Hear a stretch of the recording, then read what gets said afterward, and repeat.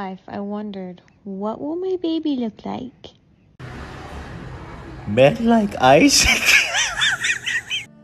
It seems your joke has everyone in laughs and stitches. But at least I am not the one who doesn't get any bitches. You picking on me, my student, was good, and it shall not be forgotten. But it shall never be as good as your skills in picking cotton. Picking joke was mean, and I didn't expect it from a brother.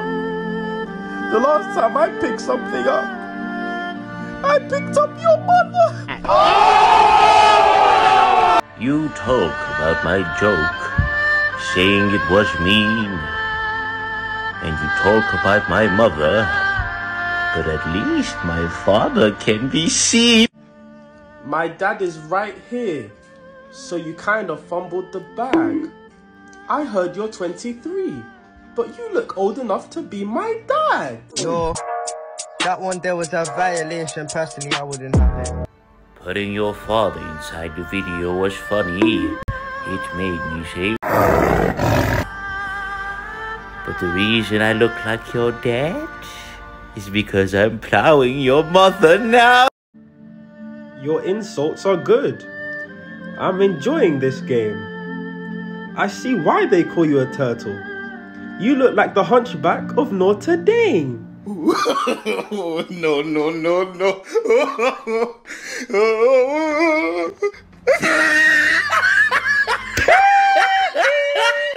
My back is big. So calling me hunchback is fair.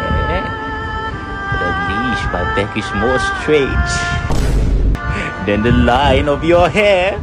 Only God can shave your hairline, my student Isaac. You said your back is straighter than my hairline. And that may be. But hold up. Aren't you Nathaniel B?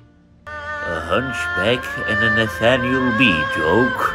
Hold on, wait.